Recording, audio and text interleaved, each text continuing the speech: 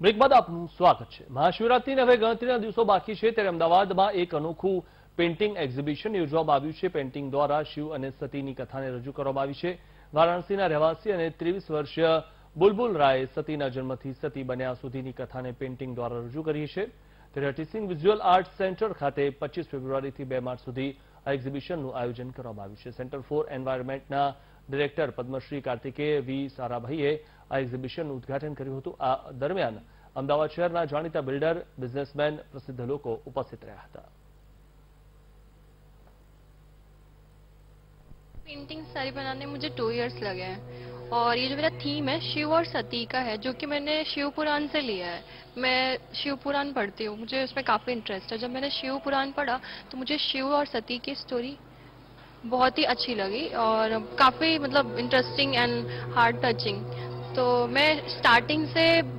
जो भी पढ़ती जाती थी, वो मेरे माइंड में मैं वो ड्राइंग क्रिएट करती थी। फिर मुझे क्या हुआ कि मैं इसको कैनवास पे बनाती हूँ, लोगों को भी पता चले कि जो हमारे यंग जनरेशन में अभी लोगों को ये चीज़ें नहीं पता है, क्या है शिव, क्या है शिव पुराण। हाँ शिव पता है, लेकिन डीप में कोई नहीं जाना चाहता, कोई शिव पुराण नहीं पढ़ेगा। तो बस मुझे लोगों को ये बताना था कि जो मैं फील कर रही हूँ जैसा मुझे लग रहा है कि वाओ ये इतनी अच्छी स्टोरी उस टाइम में भी शिव ने और सती ने लव मैरिज किया हुआ था तो मुझे वो चीज़ लोगों को दिखाना था ये अपनी पेंटिंग के जरिए तो बस इसलिए मैंने कैनवास पे किया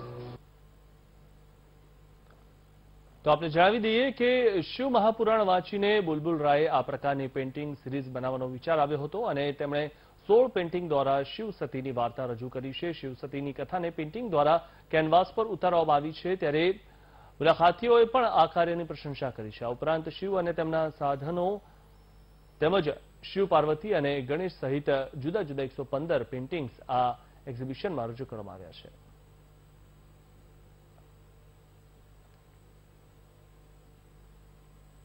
तो बहुत ही सुंदर इमेजेस हैं और बहुत ही सुंदर पेंटिंग्स की हुई हैं